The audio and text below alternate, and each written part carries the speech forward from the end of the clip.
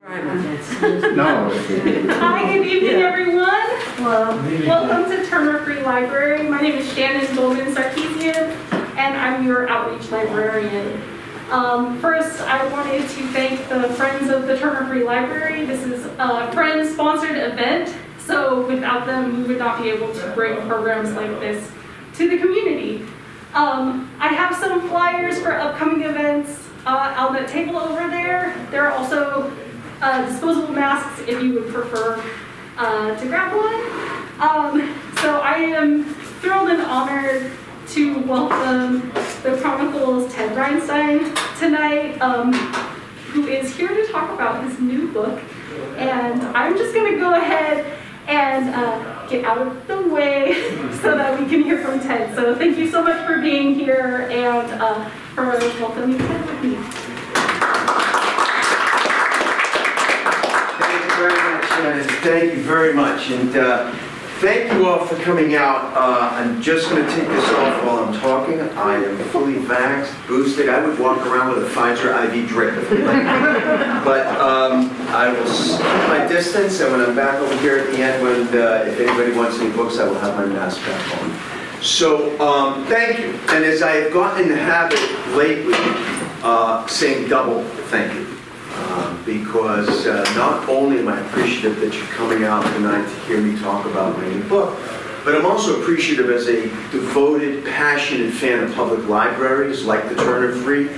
Um, it takes an extra effort these days. It always took a little extra effort to come to an event at a library. It takes a little extra effort now, right? Mentally, psychologically. You gotta wear a damn mask. So uh, I appreciate that too, as I know the library does. So thank you. Thank you for coming out. It's appreciated. So uh, as Shannon said, I'm going to talk to you tonight about um, my, my newest book, uh, my fourth book, and this one is a departure in some ways, my, my earlier books. How many of you have been at one of my earlier talks here, which now goes back, I think, five years?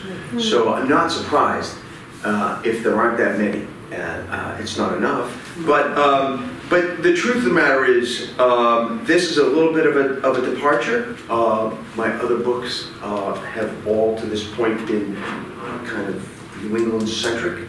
And so this one is not. This one is a different love, a different passion, baseball, and, uh, and civil rights for that matter. So I'm just going to jump in. You'll see a few times I'll go back and forth from the book. The talk will be going throughout.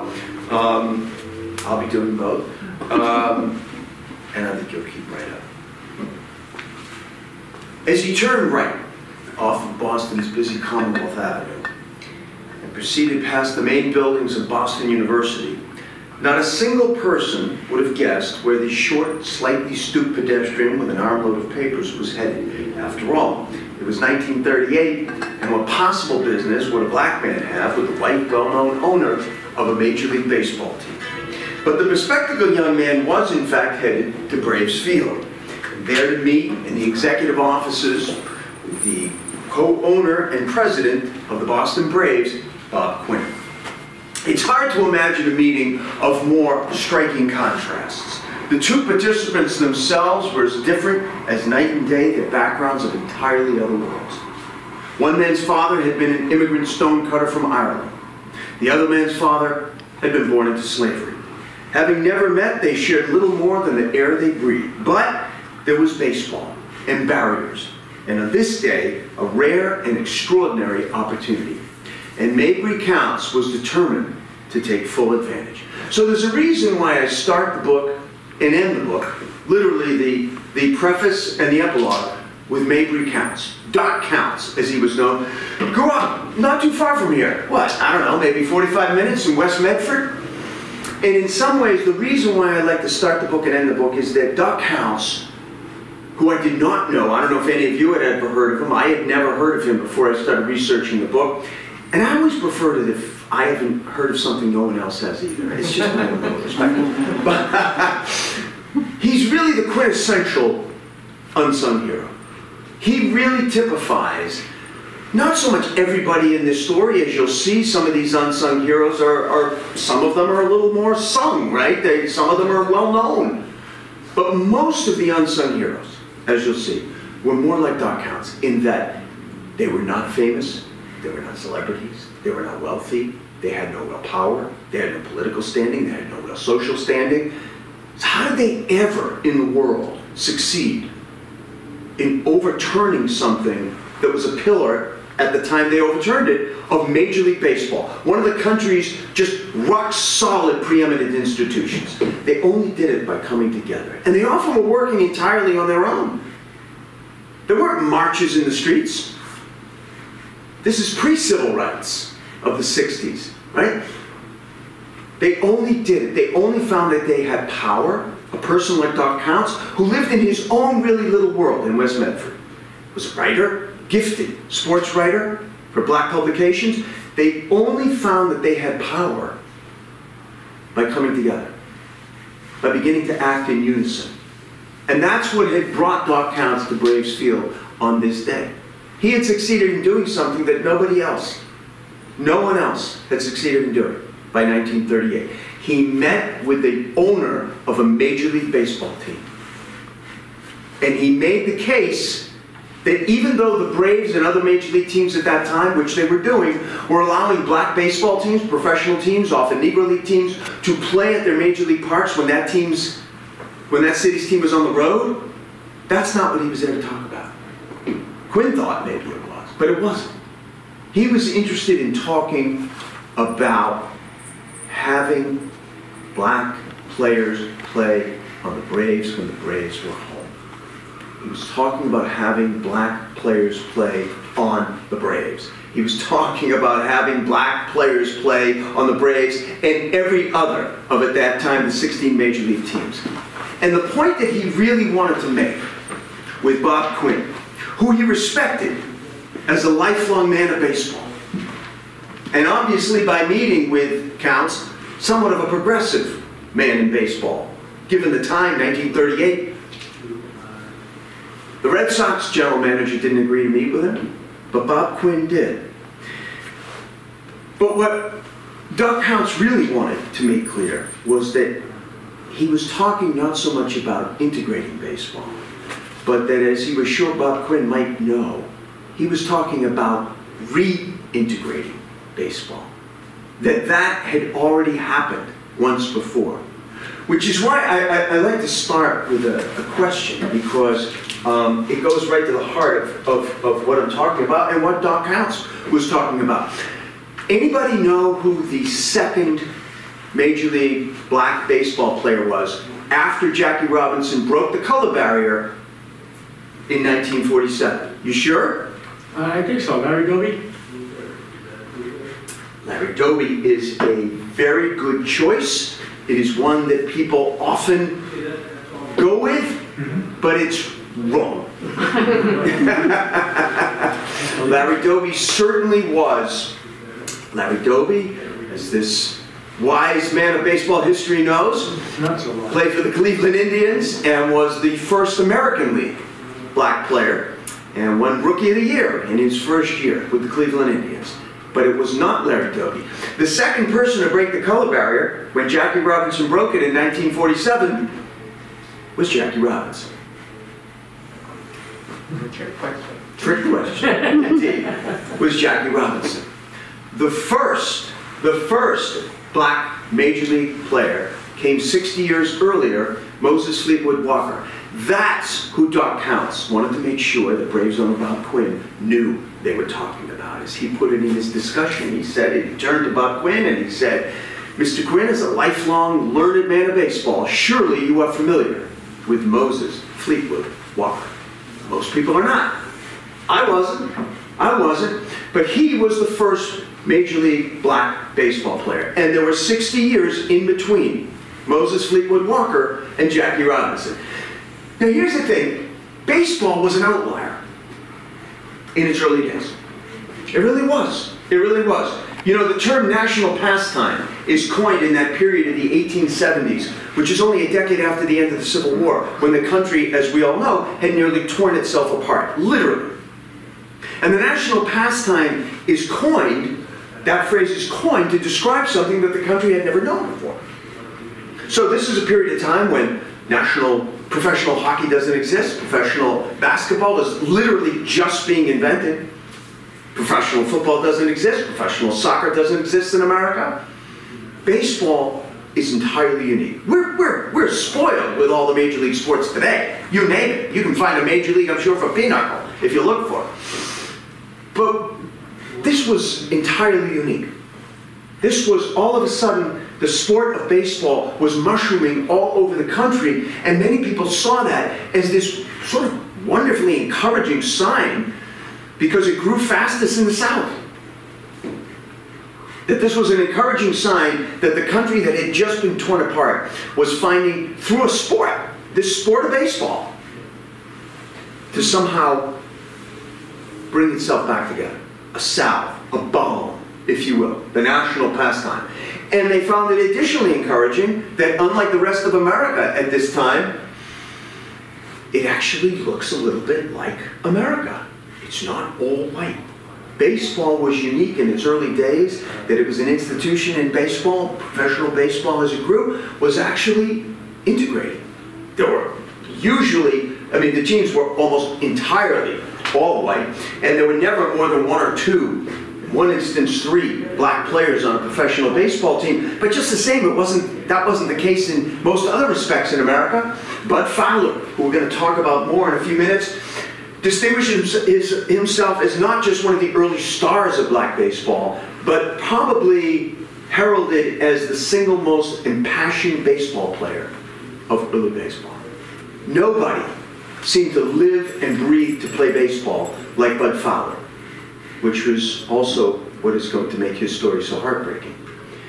Frank Grant, first black professional ball player from Massachusetts, the Berkshires, and the Walker brothers. Most famous of all, most significant of all, Moses Fleetwood, sitting right here, his younger brother Weldy, right here, and they were teammates for a brief period in the early 1880s at Oberlin College in Oberlin, Ohio. Moses Fleetwood Walker, not only the first true star black ball player, but transforms an entire position. So I said this, this is the period of time when the, the phrase national pastime is coined. It's also the period of time when the phrase backstop, you've heard, is coined, right? So backstop to describe a catcher. You know, today it's one of those old terms that, that needs explaining to most people because we think of a backstop as a physical thing, right? The physical thing in baseball's early days was the catcher. And it was where you would stick your most untalented player. They had one job, right? You'd say, you know, Jimmy, you have one job. Stop the damn baseball from rolling off the field and delaying the game, right? Moses Fleetwood Walker changed that. He's the first player to incorporate shin guards, first player to incorporate a face mask, first player to incorporate a chest protector, first player to call pitches, direct the pitcher, right? So he's directing the game like catchers do today, right? Direct line between Moses Fleetwood Walker and every catcher right up to the present day. And first catcher ever to throw a runner out attempting to steal a base. It had always been legal, it had just never, there had just never been a catcher who was talented enough to throw a runner out. Which I've always wondered just how shocked that base runner must have been, right? What do you mean about? he threw it? Wait, what? But he was. He was. And he was terrific. He was what we would call today a five-tool player, right? He could do it all. He could run, he could hit, he could throw, he could catch. He was great. Good enough that the, the Toledo, Ohio Blue Stockings in 1884 signed Moses Fleetwood Walker to a major league contract, making Moses Fleetwood Walker the first black major league player. He starts the season with the Blue Stockings and they open up the season against the Chicago Cubs, which was terrific because not only did you have the headline news of the first black major league player squaring off against the marquee baseball team of early major league baseball, the Cubs. There was nothing like them. They were like the Yankees of their time. So a lot of people thought, mind you, in 1884, he breaks camp with them in 1884. This is just 20 years, 20 years, basically, since the end of the Civil War and emancipation. So it was easy for a lot of people to feel that this is a promising thing. This is an encouraging thing about America re-knitting itself together. Not everybody felt that way. And starting with the team the Blue Stockings played that day with Moses Fleetwood Walker. Because Cap Adrian Constantine, better known as Cap, captain of the Chicago Cubs, felt differently. Cap Anson, if Moses Fleetwood Walker was the first starring black player of that early era, Cap Anson was, without any question, the first bona fide superstar of early baseball. He really was. He was the first bona fide slugger, another term that is coined to describe Cap Anson.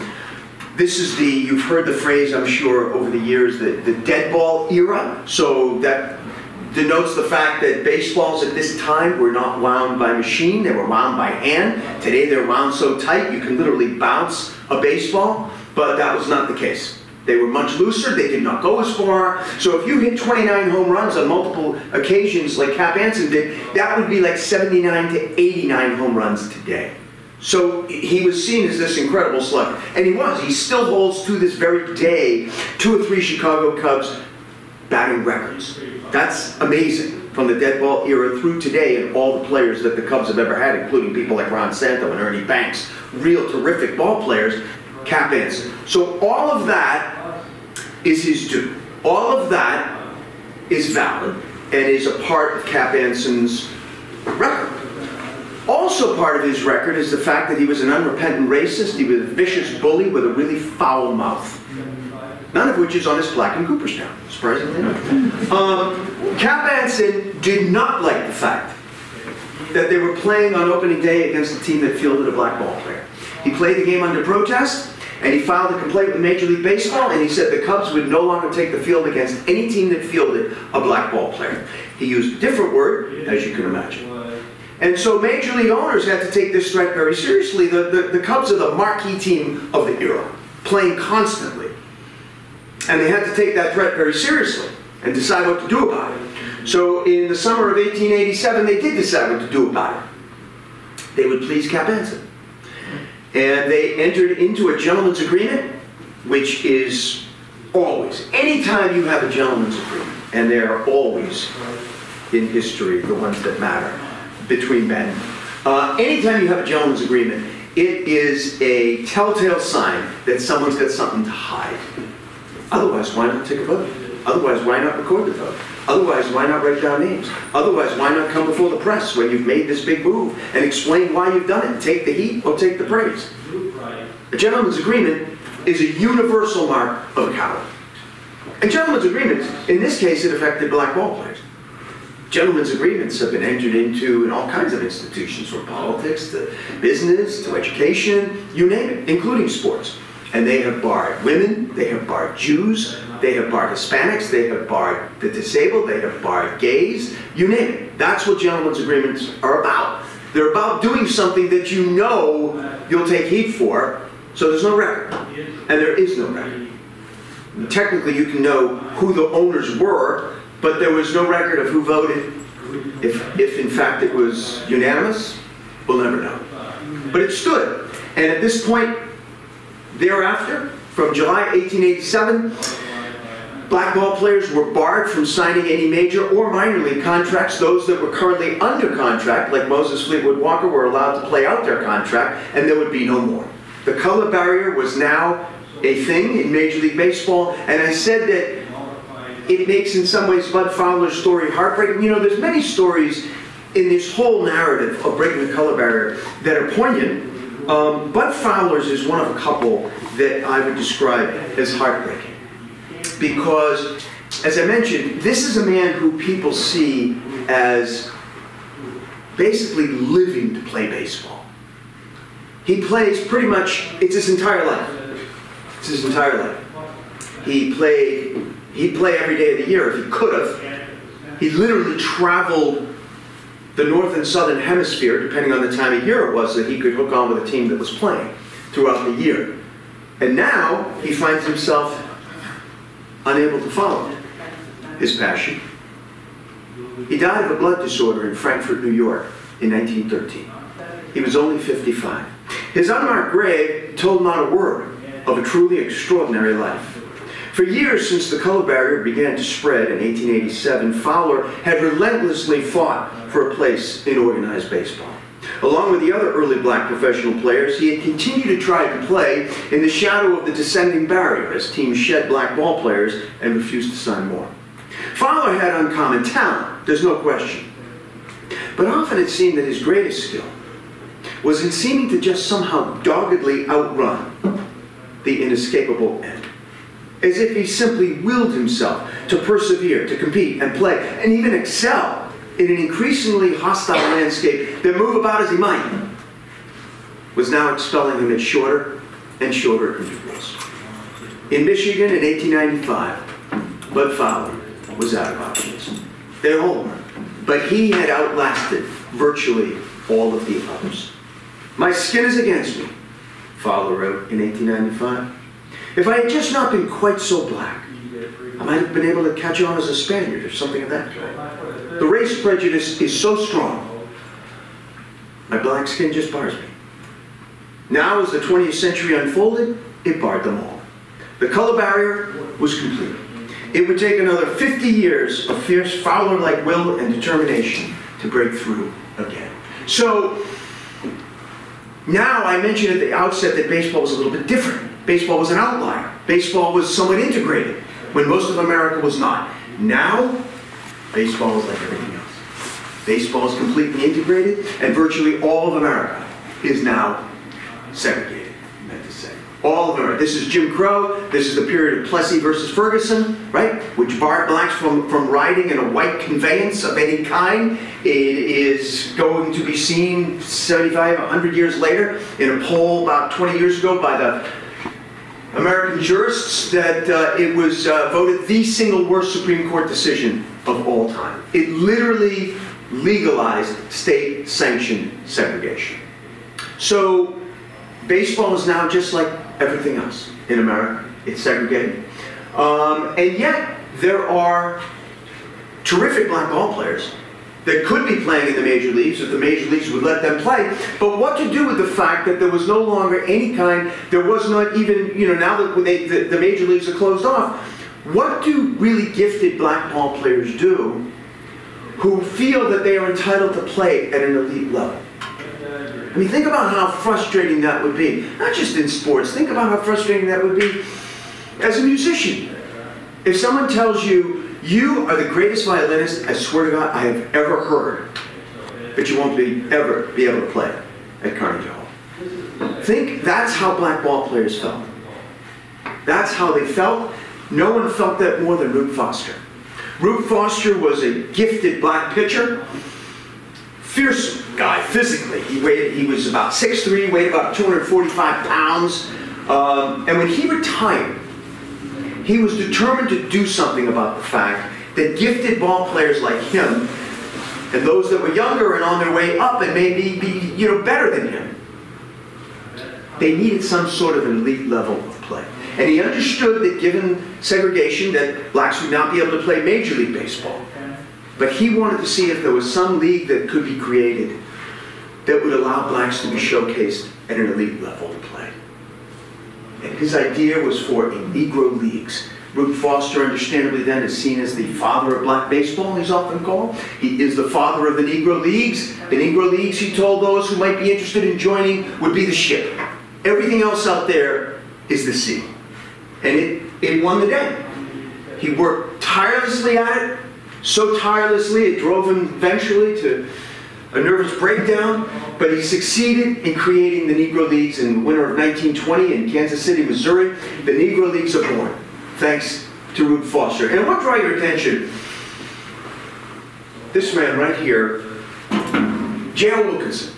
He is the only owner at the inception, the only white owner of a Negro League team. At the league's inception, he will be the only white owner in the entire history of the Negro Leagues. All the way through its dissipating in the late 60s. J.L. Wilkinson. Now, I don't bring him up as just a mere, you know, ethnic oddity. Uh, I bring him up because there is a direct line on J.L. Wilkinson, from J.L. Wilkinson, Wilkinson on the day that the Negro Leagues are founded to Jackie Robinson breaking the color barrier because J.L. Wilkinson will be the Negro League owner who signs Jackie Robinson to his first baseball, professional baseball contract. So the Negro Leagues are born, and Rube Foster was a prophet because immediately the Negro Leagues take off. There is all this pent up demand, particularly in the black communities, for the most gifted players to play at a more elite level, and now players like Pops Lloyd, Judy Johnson, Oscar Charleston, probably one of the half dozen best shortstops to ever ever play baseball, are now being able to showcase their talents. Not so much to blacks. Blacks knew how good these players were.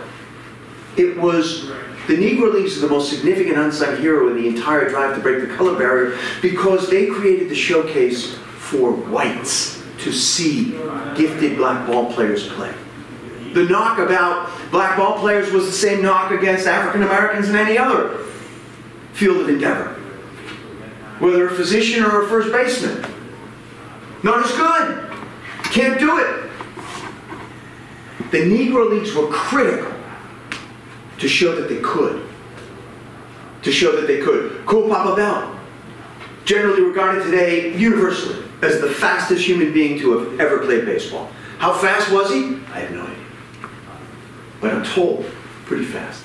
He was called the human blur. Um, my, my favorite anecdote about how fast Cool Papa Bell was came from his longtime friend, lifelong friend, roommate, teammate, legend in his own right, Satchel Paige. Now, I say this advisedly because Satchel Paige was also famous for exaggerating, starting with his age. but uh, nonetheless, I do like this. He was once asked, he was once asked, Satchel Paige was once asked, just how fast was Cool Papa Bell? He said, Cool Papa? He said, forget what he did on the diamond. Fastest move I ever saw him make was in a hotel room. It's okay. they were they were rooming together. So he said, we were in St. Louis, and uh, I was already in bed. Satchel was fixing to get into bed, and I said, cool, Papa, hit the lights, would you, before you get into bed? He said he hit the light switch. The room was dark before he was under the covers. now, the Negro Leagues take off. Rube Foster was indeed a prophet. The Negro Leagues mushroom. Every sizable black community wants to create a Negro League team. They go from 13 teams at, at its inception, 25 to 30. Everywhere, everywhere the Negro Leagues are catching on, and they're just explosive growth. They divide into a Negro National League, a Negro American League, a First Negro World Series, and it just seems like the growth of the Negro Leagues will never stop, but it did stop.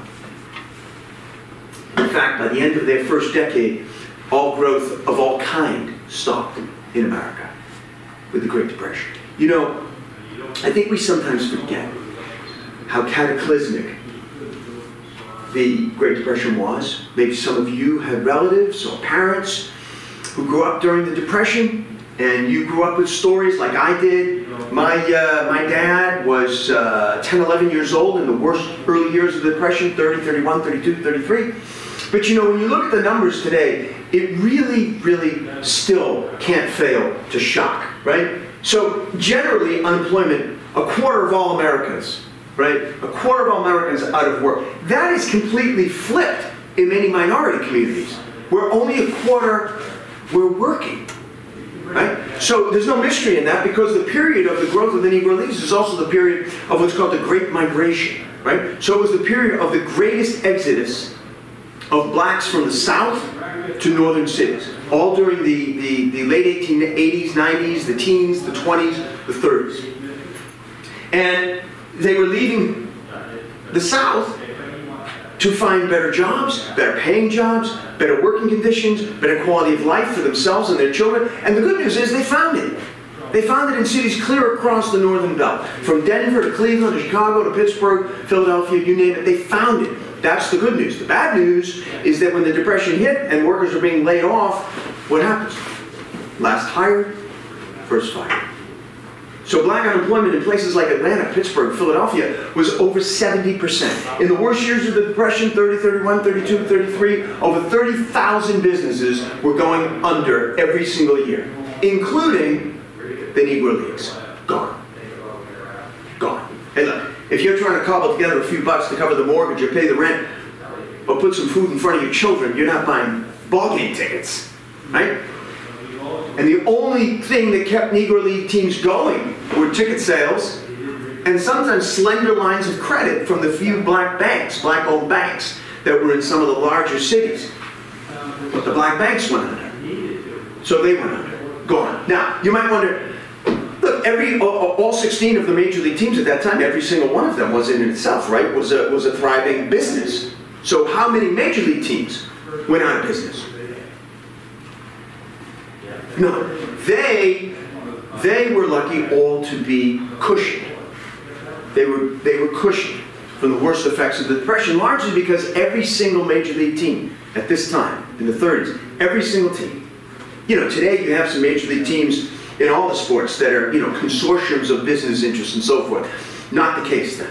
Every single team was owned by a wealthy owner, like our Red Sox, Tom Yawkey. I don't know if you remember what you got for your 16th birthday, but Tom Yawkey came into $16.3 million. And five years later, he came into another $30 million. So they were cushioned. They were cushioned. They- Interestingly, Tom Yawkey was a relative pauper in comparison to some of his colleagues, fellow owners in Major League Baseball. I mentioned the Chicago Cubs before. Chicago Cubs were owned by a guy named Phil Wrigley. Phil Wrigley made a little chewing gum. Did very well. The St. Louis Cardinals, for instance, were owned by Augustus Busch. He brewed a little beer. They were fabulously more wealthy than Tommy Yawkey. So they were cushioned. They were cushioned. But the Negro Leagues went under, except for one team. Now, I know I mentioned J.L. Wilkinson earlier. You're going to see that he keeps popping up. Because J.L. Wilkinson was a remarkable person. He really was.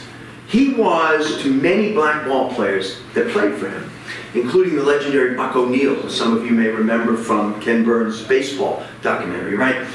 Buck O'Neil has this wonderful, which I discuss in the book, he has this wonderful story that he shares about signing with the, with the Monarchs and owner Jan Wilkinson sitting next to him one day, he realized that, that he was sitting next to him in the locker room, and he said, uh, Buck, I understand you're having a hard time finding a place to live. I want to be with you, and uh, we'll find a place tomorrow. I don't want you to go another day without. And Buck O'Neil was like, who the is this guy? he said, and the way he described it is, he said, I kept looking at his skin. He was white. You know, and he was like, he was the first white person in Buck O'Neil's entire life, he said, who seemed to speak to him as if there was no, there, there was no barrier. Like, like he would hear J.L. Wilkinson talk to his own sons, and he said it sounded the same. And he couldn't, he couldn't fathom that. That was J.L. Wilkinson. J.L. Wilkinson was the only owner and the only Negro League team that did not disband in the wake of the Depression. He was determined to keep the team together and not let anybody lay, lay anybody off. And in that way, you know, he reminds me of, and it's interesting because this fellow just died two months ago. Anybody remember Aaron Feuerstein? Malden Mills? Right? So when the Malden Mills burned in Lawrence in 1992, you probably remember, Aaron Feuerstein did an extraordinary thing. He kept paying all of his workers. Even though they had no job and they had no place to go work.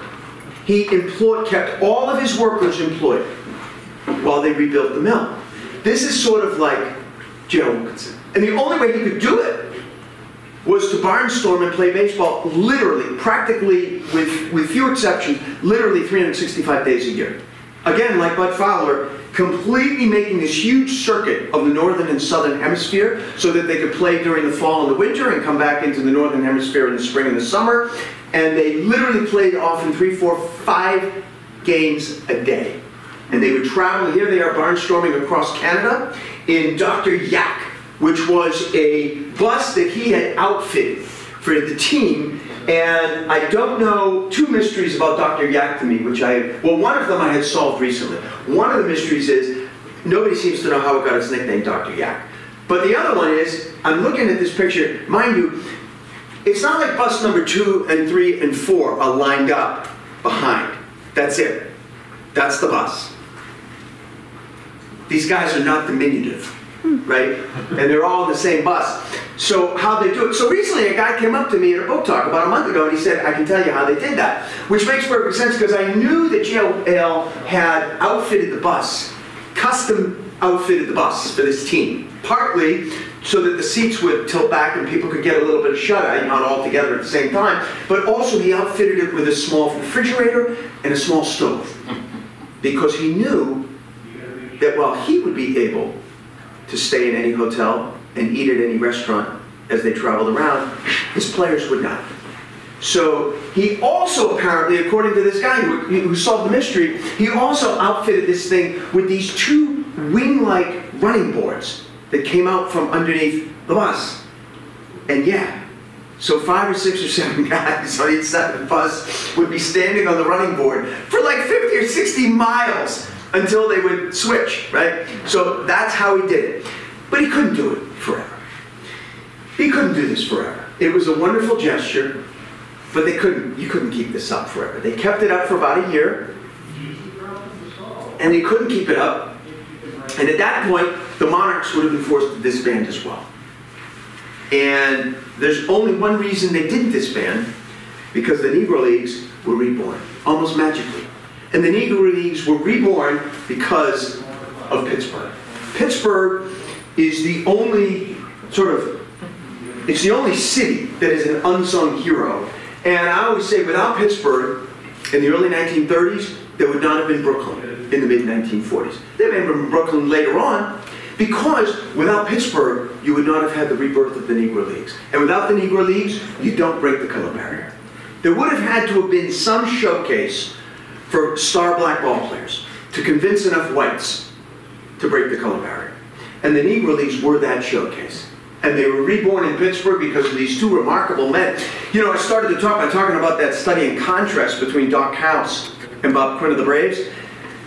This is a far more, a far more dramatic study in contrast. Now, you might think, where's the contrast, right? I mean, the two men, the two guys who seem to like baseball, the two guys in Pittsburgh, they're both black. That's where it all ends. That's all they had in common. They hated each other. They hated each other. I always like to compare it to, you know, people of a certain age, like me and you, Doug. Uh, people of a certain age will probably remember Mad Magazine. Remember, right, right. So Mad Magazine had a long-running feature called Spy versus Spy, right? And these two spies, right, were that's all they were about was like trying to screw the other one and kill the other one, right? They weren't. They never tried to kill each other, but they did constantly try to screw each other, if you'll pardon my French. And they often succeeded, which they loved. So, but they cooperated on one single thing. They only cooperated on one single thing in their entire professional careers. The need to bring back the Negro Leagues.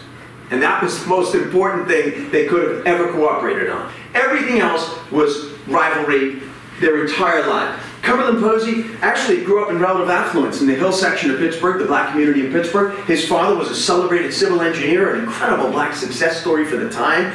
Very successful businessman. I'm sure he'd hoped that his, his son, Cum Posey, would have um, followed in his father's footsteps, but Cum Posey was a sports nut. Basketball, which was a relatively new sport, and baseball. Baseball won out, and Cumberland Posey was approached in the late Uh, 1920s that about saving a baseball team. Forget the Negro Leagues, there but there was a baseball team that had played in the Negro Leagues, the Homestead Grays. Homestead is a section just outside of Pittsburgh. They had a wonderful team for a while called the Homestead Grays. And they were going to go under if somebody wasn't going to buy them. And Cumberland Posey agreed to buy the team and manage it and coach it and general manage it and promote it. He seemed to do a pretty good job. How good? That's the first season Cumberland Posey Jr. took over. Now, let me put this in perspective. So, so this edition of the Homestead Grays, 1931, is generally regarded as possibly the greatest baseball team in history. Black, white, pink, you name it. They won 143 games. Let me put that in perspective. So at this time, Major League Baseball didn't play 162. They played 154 games. The Grays themselves won 143 games. So this is absolutely extraordinary. However, not to be outdone, Gus Greenlee, completely different background, completely different life trajectory, right? So Gus Greenlee goes up to Pittsburgh. He uh, he's drafted. He goes off to fight in World War One. He's wounded at the Battle of Verdun in France. He's decorated. He comes back to Pittsburgh. He comes back to a Pittsburgh that is now in the depths not only of the Depression but Prohibition, right? So he decides he's going to buy an old beat-up car and he's going to drive a cab. Okay. So a guy approaches him one day who's a representative of the Latrobe Brewery, which might sound familiar, right? Rolling Rock beer. And uh, guy says to him, hey, listen, I need a driver. And, uh, and Gus Greenlee was just about to ask him where he was going. The guy said, no, no, no, no, no, not like that. I, I need to hire a driver for a full-time job. And Cumberland Posey he said, well, I have a job. And he said, uh, how, um, how much have you ever made in your best day? He said, lately? I don't know. Five bucks? The guy says, all right, why don't you multiply that by 150? And Gus Greenlee said, when do I start? And he never worked another legal job in his life. Um, his entire life from that point on was running numbers, gambling, you name it. Um, but he was also a complicated guy. He was seen as a real Robin Hood figure in the hill section of Pittsburgh, the black section of Pittsburgh. Um, didn't get, you know, didn't make a big deal out of it, but um, it was just routine for people to know that if you had a doctor's bill you couldn't cover, if one of your kids was sick, there would be an envelope that would appear at your door. Uh, if you needed money for the mortgage, money to pay the rent, there would be an envelope at your door. On Christmas Day, everybody knew in the Hill District, you open up your door, and there would be a big wicker basket with a big ham dinner courtesy of Gus Greenlee, Merry Christmas. So he was beloved in the Hill section. And he opened up in the late 1920s, he opened up the Crawford Grill, which was a legendary jazz place. It was seen as a, a real melting pot. It was, it, was, it was really unique in that everybody, whites, blacks, you name it, felt comfortable at the Crawford Grill. Every jazz great of the era that you can think of, you know, anybody you can think of, Basie, Billie Holiday, Ella Fitzgerald, uh, you know, Cab Calloway, they all played the Crawford Grill. And just like Cum Posey, Gus Greenlee is approached around the same time about saving another baseball team in Pittsburgh that is also going to go under if nobody takes over. The Pittsburgh, I always blank on the name, but it was like some athletic club kind of name, right? So he says, I'll buy the club and I'll even build my own ballpark, uh, but I'm going to change the name of the club to promote my grill.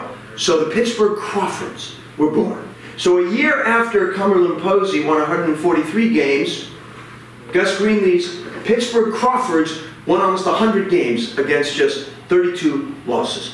Now they did this by signing some legendary ball, incredible black ball players. Here's Oscar Charleston, one of the greatest shortstops to have ever played.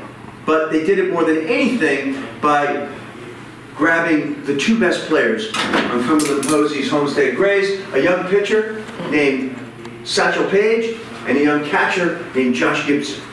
Now, this is something that, uh, you know, two years later, both of these guys were back on Cumberland Posey's Homestead Grays, and they would go back and forth several times. So would most of these players, because these two owners were all about poaching each other's players. All about it. They poached each other's players at the start of the season. They poached each other's players in the same week of a game. They poached each other's players in one celebrated instance during a game. that must have been very confusing to that poor player.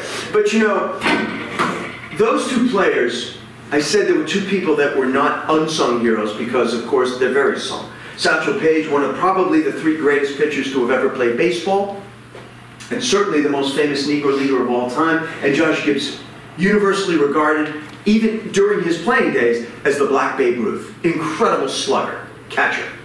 You know, interesting, Josh Gibson met the real life Babe Ruth shortly before he died. And Babe Ruth threw his big meaty arm around him as he was wont to do, and he shook him a little, which is what he usually did, and he said, Mr. Gibson, how about that? I understand I call you the Black Babe Ruth. And Satchel Paige said, tell you the truth, sir, my people call you the white Josh Gibson. so, how do we know so much about the Negro Leagues? And sharing all these anecdotes about the Negro League, stuff I never would have known had I not been able to research in detail the Negro Leagues. But how? How? White newspapers didn't cover the Negro Leagues. No books were written about the Negro Leagues at this time, in the 1930s. The entire history of the Negro Leagues, there was not one mainstream white newspaper, not one, not one, that ever had a white sports reporter as a, as a beat reporter following the Negro Leagues. Not one. The only time, the only time a white mainstream newspaper would, would write anything about the Negro Leagues was when they were playing a major league team. So like, for instance, in 1930, you know, in the early 1930s when Satchel Paige and, and the Black Yankees played the New York Yankees at Yankee Stadium and he struck out Joe DiMaggio three times, the only time in DiMaggio's entire life he ever struck out three times, the Times wrote all about it. That was the only time. So if the white press didn't cover the Negro Leagues, how do we know so much about them? The black press. The second most important unsung hero in breaking the color barrier. Because without the black press, the stories that raised people's consciousness all over the country, coast to coast, north and south, about learning about these incredible players like Josh Gibson and these incredible teams, like the Homestead Grays and the Pittsburgh Crawfords. Even people in Pittsburgh, even whites, you know, the joke in Pittsburgh in the 1930s, you know, Pittsburgh was home to a major league team. The Pirates were awful in the 1930s. So the joke in Pittsburgh among blacks and whites was that Pittsburgh is home to two great baseball teams. The Pirates aren't one of them. right? So how did we do it? The papers were critical in terms of raising people's consciousness all over the country that players of this caliber, teams of this caliber, were playing right now. But they can't play Major League Baseball because of the color barrier. Right? So how did that story, how did those stories get out? Right? I mean, Robert Lee Vann, owner and publisher of the Pittsburgh Courier, greatest black distribution, black newspaper of all time with the greatest distribution in history. It just barely in front of the Chicago Defender, the second greatest, Robert Sengstacke Abbott Chicago Defender. And they hired people like Wendell Smith and Sam Lacy. Wendell Smith will pop up at Fenway Park before we're done in a few minutes. These players wrote these stories about this team, and they were crusading journalists. There was none of this objectivity. There was about the game itself, there was about facts, but it was also a fact that they always made sure to wrap up their stories with that Josh Gibson just hit the longest home run ever hit in Yankee Stadium. Some say it went 500 feet. Either way, it went more than 450 feet, which would make it longer by 20 or 30 feet than anything Babe Ruth ever hit in his entire life. But he can't do that at Yankee Stadium on a regular basis for you, you New York Yankee fans because of the color barrier. So they were, they were raising consciousness about the color barrier in a way that had never been possible before the growth of the black press. But how did they get these stories? How did they get these stories all over America? The Pittsburgh Courier could barely make deadline Monday through Friday. Same thing with the Chicago Defender.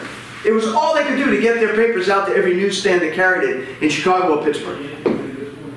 How were they getting their papers to Miami? Which they did. How are they getting the papers to Seattle, Washington? Which they did. How? The single most unlikely unsung hero in the entire story. You could never see this coming. I was bowled over by the story of the Pullman Porters and how they played a critical role in breaking. Like, how did they play a role in breaking the color barrier in Major League Baseball? They're making people's beds on a train. They're keeping track of when people need a wake-up call, which of course back then was a wake-up knock on your berth. How? What the hell did they have to do with Major League Baseball? so those two newspaper publishers, right? Vann of the of the Pittsburgh Courier and Abbott of the Chicago Defender, they were very, very, very creative, imaginative guys. And they saw they saw the unique position that the Pullman Porters occupied in the African American community. They were unlike anyone else in the entire African community. Listen, at that time, they were unlike most Americans. Most Americans were not traveling all over the country. But they were. All over the country. Every single major city in the entire country, these guys were hidden. Hmm. these publishers thought, wow, what if we could get them to help deliver our newspaper? Now, they couldn't just do that out in broad daylight because they would have been fired on the spot. But they found an ingenious way it went like this. So let's say a train is going to pull out of South Station and it's going to head down the eastern seaboard to say it's going to end up in Miami. So the porters were also responsible for provisioning the train. So let's say they made contact with a black bakery in Mattapan. And the bakery truck arrives at South Station with the bread. And there are these big baskets, like, like five feet high, with the bread. Underneath the bread would be bundles of newspapers. The Black Reporter, the Black Chronicle, right? Train leaves, pulls in at next stop, Penn Station, New York. Penn Station, they offload the black newspapers from Boston, they unload the Amsterdam News, the black newspaper from New York. They do the same thing in Baltimore with the Afro-American. They do the same thing in Washington, same thing in Chattanooga, all the way down to Miami, and they're doing this in every single run, in every single direction, all around the country. So that by 1939, you have this incredible thing. Great, great, great anecdote of this New York Times salesperson who's on vacation in San Francisco. And he finds copies, can't get the New York Times, but finds copies of the Pittsburgh Courier, Chicago Defender. He said, how the hell are these newspapers ending up here? Pullman Porters. So now people all over the country, particularly in black communities, we're not only reading these wonderful stories about the now, for the first time, sort of three-dimensional stories of these incredible players like Josh Gibson and Satchel Paige, but they were also being reminded constantly that these players could be in the major leagues. You could go see Satchel Paige. You could go see Satchel Paige pitch in Chicago if only he could play for the White Sox or the Cubs, but he can't. So now consciousness is rising. And it finally meets opportunity in 1940. Because in 1940, America is about to just like with the Depression a decade earlier, is about to have a cataclysmic event, World War II. And in New York, Lester Rodney, which is perfect to follow the Pullman Porters because he is just an unlike, just as much an unlikely, improbable ally in the draft to break the color barrier as the Pullman Porters. More so. He's white. He's Jewish. He's a communist. Hey, nobody's perfect. but he was also a gifted sports writer. And he would have written for anybody. But in, in the late 1930s, the American Communist Party starts a sports section in its newspaper, The Daily Worker. So they need somebody to write about sports. So Lester Rodney took the job. Lester Rodney took the job, and he was a he was a man at the right time because America is going to war. And Lester Rodney loves baseball, and he hates the color barrier. And he frames the argument to break the color barrier in a way that nobody has framed it before, which is, as he would constantly write, America is going to war. Blacks as well as whites are being trained to fight. Blacks as well as whites will go overseas and fight. Blacks as well as whites will come home in boxes. And those who don't come home in boxes, but who play baseball, will have just been asked to have, if necessary, sacrifice their life for their country and go back to a country that won't let them play baseball, sit where they want on a bus, or sit at a lunch counter. And now for the first time, it happens. It wasn't, you know, just baseball. Since, since then, you know, you see in other landmark changes of the public attitude about an issue. Sometimes it's just the events and the time, and it's pivotal. And it's pivotal.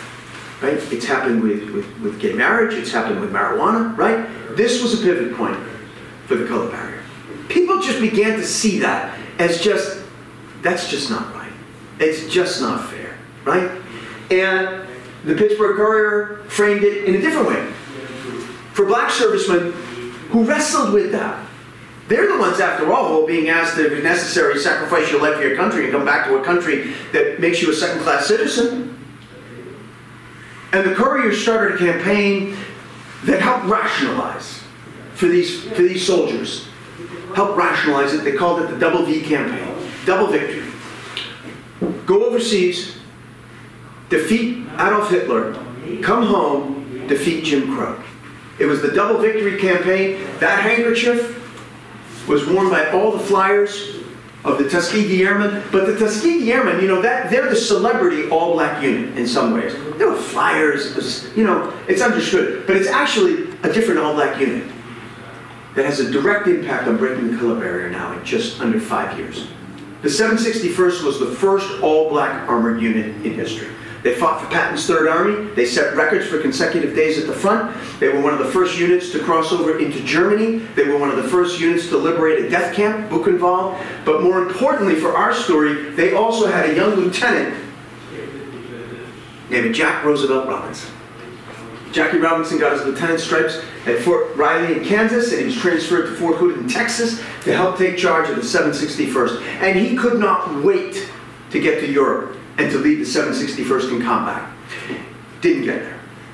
Just before, just before, days before the 761st was to disembark for Fort Dix in New Jersey and final disembarkation to Europe, Jackie Robinson flunks his final physical.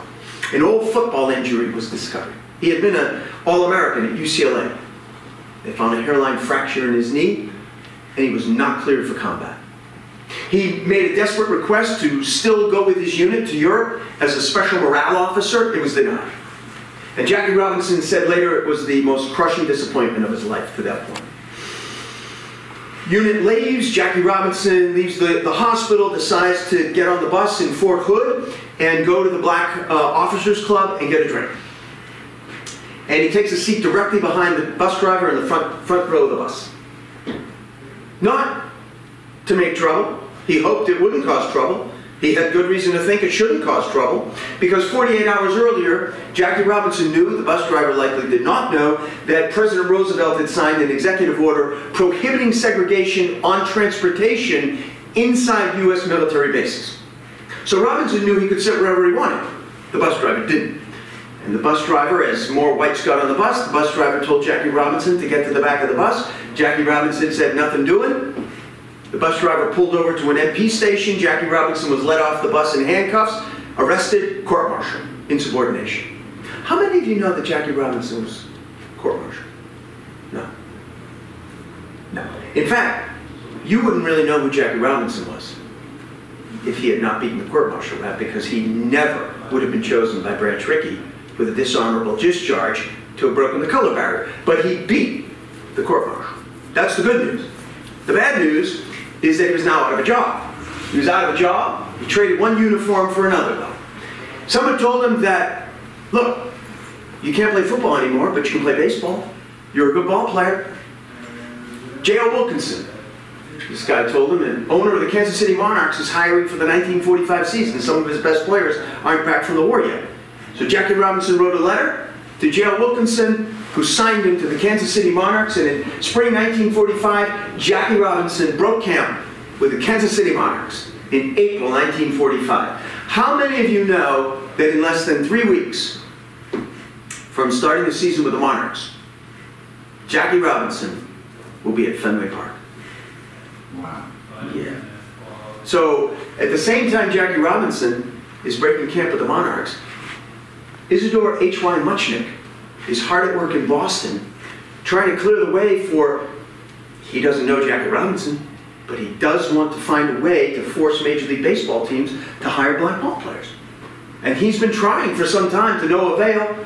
Izzy Muchnick, fascinating character, sad in some ways, but a fascinating character. Izzy Muchnick was the second Jewish city councilor in Boston's history. He would become the first Jewish chairman of the Boston School Committee. He lived by, he was a devout Jew, and he lived by something in Judaism that is called tikkun olam. It translates from the Hebrew literally as repair the world. And it is something that Jews are called upon to do in their lives, however you can. It doesn't have to be big. If you offer a kind word to someone who is in desperate need of a kind word, you are repairing their world. But Izzy Muchnick had his eyes on something bigger, breaking the color barrier. But how? He was a, he was a gifted lawyer, Harvard Law School, Harvard College, could have worked for any of the, you know, at that time what they used to call the white shoe Boston law firms, you know, Hale and Dorr, or Palmer and Dodge, or Peabody, or whoever I get those names, they all seem to go together. But he wouldn't change his name. So he opened up his own law firm, worked on the city council, worked on defending injured clients, and in his spare time at home, poured through the bylaws of Boston to find something that might be leverage, might compel a team like the Red Sox to at least try out a black ball player. But what? And then one night, he found it. You remember the blue laws? Mm-hmm. Well, in 1945, a blue law that still existed stipulated that a Boston sports team could not play baseball on Sunday without the unanimous vote of the Boston City Council. And the vote had to be given annually at the start of the season. Izzy Muchnick suddenly knew he had leverage. He had, all he had to do was withhold his vote. So he wrote a letter to the brain trust of the Boston Red Sox, and he informed general manager Eddie Collins, right here, also a former Hall of Fame second baseman of the Chicago White Sox, he informed Eddie Collins that, um, well, actually, he, he put it in the form of a request. He said, Mr. Collins, I'm sure you share, he didn't, but he said, I'm sure you share my interest in one day integrating Major League Baseball, and I am asking you to take some concrete steps to at least trying out some qualified black ball players. And Eddie Collins, kind of charming southern guy, um, he didn't know who he was dealing. Izzy Muchnick was a bulldog, played goal for Harvard's hockey team. He was not going to be put off. But Eddie Collins thought he could put him off. So he said, oh, Mr. Muchnick, my esteemed Mr. Muchnick, it might interest you to know. Do you know, for instance, he said, in my entire tenure with Boston Red Sox, not a single black individual has ever inquired about employment here. And by the way, please find enclosed tickets to the next Red Sox game. Izzy Muchnick was not going to be put off, and he wasn't. And with a courtroom lawyer's exquisite sense of timing, he waited. And he waited. And then about a week before the city council was to take up the vote on the annual clearing of the Red Sox to play baseball on Sunday, he sent another cable to Eddie Collins. And he said, Mr. Collins, it appears to me you are not serious about taking any concrete steps to offer employment to any black ball players. Therefore, this letter will serve to let you know I will be withholding my vote to let the Red Sox play on Sunday this season. And I don't know how long it took Eddie Collins to read that note and appear in Tom Yawkey's office, but I have a feeling it was under five minutes. And on the same day, Izzy Muchnick got a return cable. The Red Sox will offer a tryout to three three qualified black ball players. There is to be no press of any kind.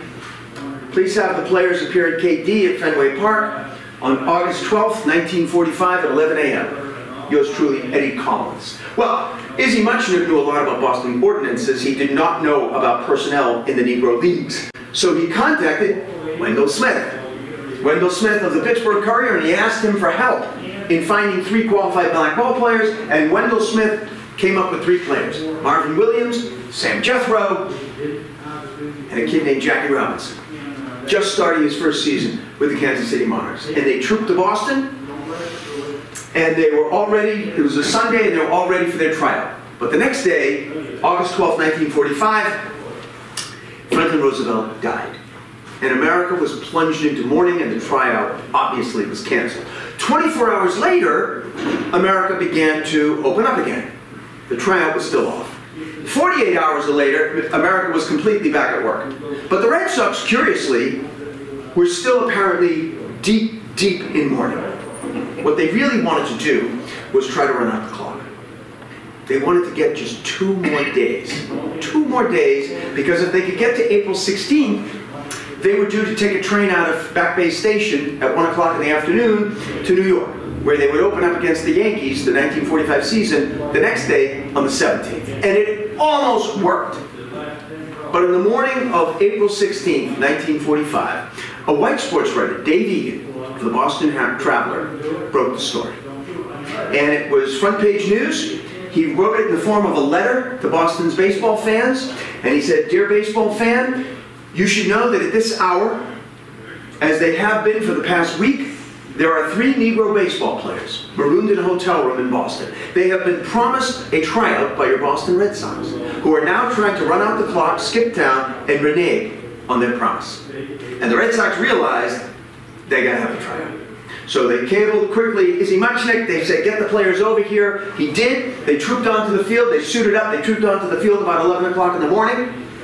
They ran the bases, they took some infield, took some batting practice. About 45 minutes later, they were called off the field. They were thanked very much. They were told the Red Sox will be in touch. The Red Sox never contacted any of those players ever again. But one play, one guy was watching and hearing reports of that tryout for the last five days, never mind that morning. And he must, he was, he was horrified. Branch Rickey, general manager of the Brooklyn Dodgers. He was horrified. Because at the same time the Red Sox are trying out these three black ball players, Branch Rickey has already been preparing for eight months to sign Jackie Robinson to the Dodgers and break the color barrier. So he's horrified that he hated Yawkey, as he put it, leave it to that son of a bitch Yawkey to sign Robinson. But, come back here. But we could have told Branch Rickey that he had nothing to worry about. Because it was going to take Tom Yawkey another 12 years to sign the first black ball player of the Boston Red Sox. But Rickey did sign him. Only six months later, in October 1945, he signed Jackie Robinson. He broke the color barrier, and of course, the rest is history. Wearing number 42, as he strode out onto the field and took his position at first base, amid the din of cheering fans and of broadcasters announcing history, of exploding flashbulbs capturing it, there were also two inaudible sounds at Ebbets Field that day of a wall falling and of cheering that could not be heard with the ear, only with the heart. It rose from those not present physically, but spiritually. Those who could not be seen, but were there just the same. Moses Fleetwood Walker didn't live to see it. And by the time he died, broken, bitter, alcoholic, he couldn't even imagine it. But he was there. Bud Fowler. Bud Fowler, who tried his entire life to outrun the shadow of the wall that rose up to deny him at the end at every turn. In life, it seemed that he and his scuffed bat and well-worn mitt had been everywhere, anywhere he could hook onto a team. A black man desperately just trying to play baseball as long as he possibly could. Now, he was in Brooklyn. Even as they worked their regular shifts that historic day, some rolling along the rails within just a mile of Ebbets Field on their way west or south, the Pullman Porters, who had ensured that those stories of people like Wendell Smith and Sam Lacy reached readers all over America, they were there. The Negro Leaguers, past and present, those who had come too early and those who were young enough to imagine that they might now too walk through the door, they were there. And the African American veterans of the war just ended, and those who had given their lives in it, they were there. On this momentous day, a ball game was played before a crowd both present and cheering, and another crowd silent and unseen.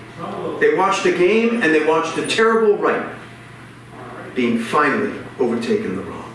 To be sure, even as a black ball player bounded onto an otherwise all-white field, racism was still alive in Brooklyn and clear on across America. So many other barriers remained in place, and he still are. But on this day, some of the hurt and the humiliation were salved. On this day, hope and faith that had long seemed to run out were finally redeemed. On this day, the long arc of the moral universe seemed to bend improbably toward Brooklyn. Touching down on the grass and the dirt of a creaky old ballpark where the familiar white lines would no longer bar a black ball player. And in the bottom of the seventh inning, when Jackie Robinson laid down a perfect bunt and raced toward first base, he was not alone. That invisible crowd was suddenly right there, running right alongside, willing him on. And as Robinson sprinted safely onto second base and caught his breath, they exhaled with him. After all, it had been a long, uncertain journey, and they had helped him get there. The next Dodger batter doubled. Jackie Robinson rounded third, and he was home. And so are we. Thank you. Thank you. Thank you. Thank you. I'm happy to, uh, I'm happy to answer a question two if anybody has a question or two. Um, happy to answer one. That's, because you just got my, yes, sir. Um, barnstorming, is that a baseball term or is it an airplane term? It's used by both. Yeah, it is. I think originally a barnstormer was the airplane. Uh, and then baseball, I think, took it on because it was that sense of like dropping into a town and playing a quick game and being on your way. And that's what the early barnstorming pilots and the mail planes did. Yeah, Yeah, I know they, they found their way, the early pilots found their way from the smoke, from the chimneys of the cities. That's Ah, how- That's how they knew the direction to Oh, go. so that's a, I didn't know that. Yeah. So you'd know you were flying, you know, with, with the, the winds going east and so. So you knew, it is, you, you know, come, you know, you had some direction. Right. where If you were coming from Ohio to Pittsburgh, you Yeah. could fall, you could find a way. Yeah, yeah, Follow yeah, the smoke. yeah. Interesting, interesting, interesting. See, I learned something all the time. Yes, sir. How old was uh, Satchel Paige? Was the, was it the Indians, the first team he played for? So uh, when Satchel Paige got to the major leagues, it was the St. Louis Browns first, and then the Indians, and then the Indians. Same owner, Bill Veeck, who was himself a very progressive owner. As a wreck. Very. Bill Veeck was what a fascinating, fascinating character.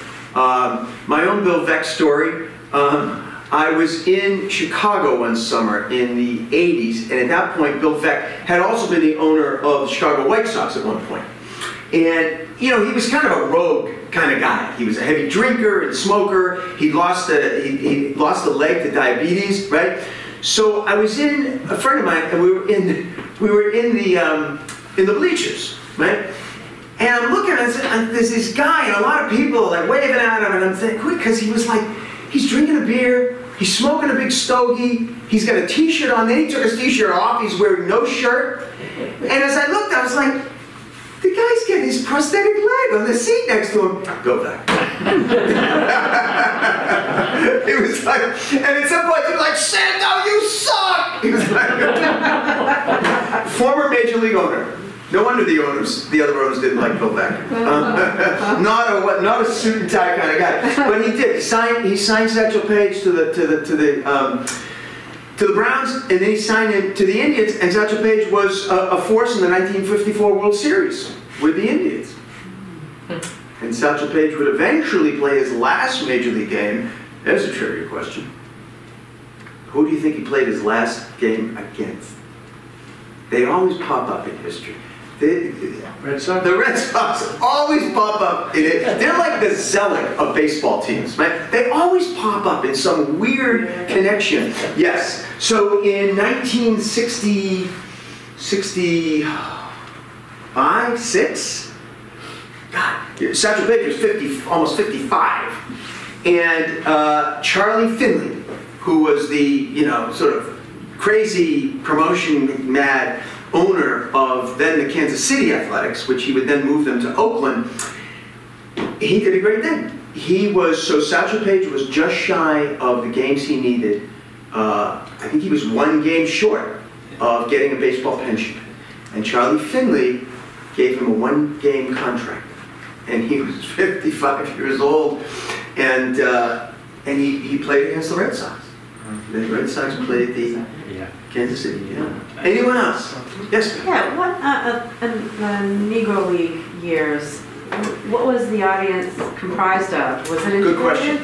Was it all black, you mean, or were there? Or, yeah, Right. So it starts out, thanks for coming. It starts out almost entirely black, right? Over time, over time, it began to be sometimes half and half, sometimes depending on, on who was pitching. If Satchel Paige was pitching, you might have more whites at the game than blacks. So it really changed. And that was what also made the change in terms of breaking the color barrier. Because as more and more whites saw how good these players were, you know, it was it, it wasn't always even in terms of like, you know, it's the it's the moral thing to do. It was the fact that, you know, somebody would see Satchel Paige, if you were a Yankees fan, and you saw Satchel Paige strike out Joe DiMaggio three times, you turned to your friend, you know, and you said, why can't we get Satchel Paige to play for the Yankees? Oh, right, that's why. Hmm. That's, that's why it was important. That's why it was important. But yes, it grew over time. And it depended what city you were in, too. Depending what city you were in. Anyone else? So, again, double thank you, right? Thank you for coming to hear me talk, but thank you also for making the effort to come to an in-person talk at the library, because I, I know I don't have to speak for Shannon, that libraries, you know, they- hopefully, even if there's a hiccup coming up, hopefully, we're going in the right direction. And, uh, you know, public libraries don't function well as virtual things. They are the centers of community. They are third places in American life where communities gather, and you gotta do that in person. There's no, there's no way to do that via Zoom. So, uh, thanks for coming out and showing that support tonight, I really appreciate it. And uh, as you leave, I, I'm gonna be over here in this corner. If you'd like to purchase a book, I have my other books, but I have before Brooklyn. If anybody would like to purchase a book, I would be happy to sign one for you. Uh, Whether you sign a book or not, over on that little side of that big, big square table, um, I have a sign-up list for my mailing list, if you'd like to get on my mailing list. All you gotta do is give me an email address, and with that, again, thank you very, very much, folks. Thank you. Thank you.